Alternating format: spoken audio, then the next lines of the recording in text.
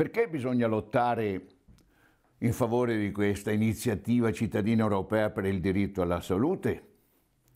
Ah, perché la vita è il bene più prezioso che tutti abbiamo e poi non solamente noi esseri umani.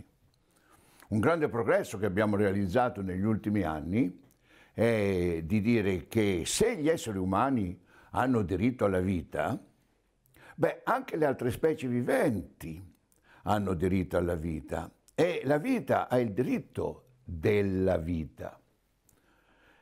Questo però non è più applicato da alcuni decenni, nemmeno sul piano del formale del riconoscimento del diritto, non si parla più di diritto alla vita e in particolare di diritto alla salute, si parla di accesso ai medicinali, ai vaccini, a tutte le altre condizioni o strumenti medici, ma non si dice più che c'è il diritto alla vita.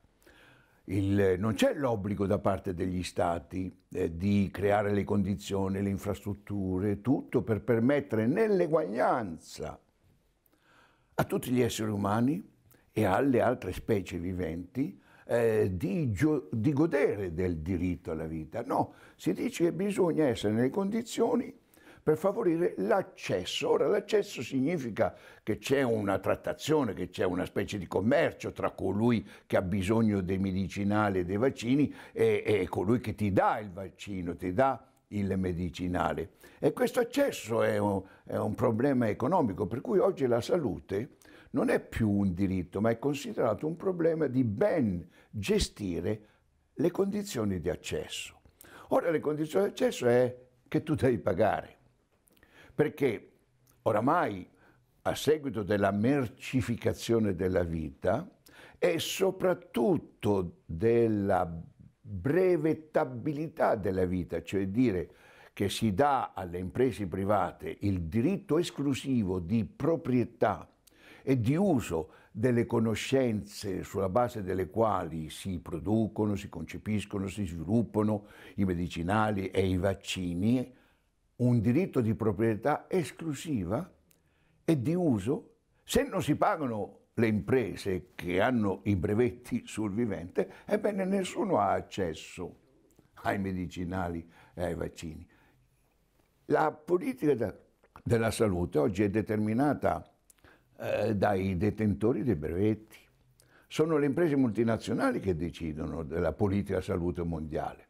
I governi Tutt'al più possono tentare di comprare i brevetti, pagare le imprese per poi mettere a disposizione dei propri cittadini. Sì, però qui eh, siamo in una logica perversa perché si lascia il diritto di proprietà e di appropriazione di proprietà ai privati e il ruolo del pubblico è semplicemente comprare i beni privati e metterli a disposizione dei cittadini. Questo è un furto per questo la legislazione che ha permesso eh, di stabilire che le conoscenze, tutte le conoscenze sul vivente, anche comprese le conoscenze sull'intelligenza artificiale, possono essere oggetto di brevetti a scopo di lucro, è stata una delle decisioni più nefaste che eh, i nostri dirigenti del mondo abbiano potuto compiere negli ultimi 50 anni.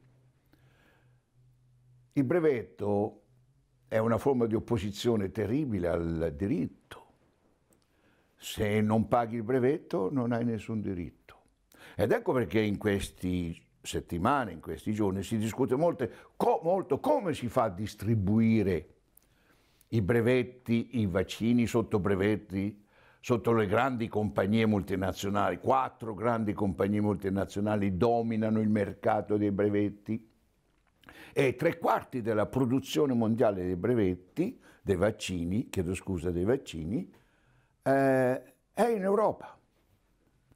E se non si elimina la legislazione sui brevetti privati a scopo di lucro, non c'è diritto alla salute, non c'è diritto alla vita.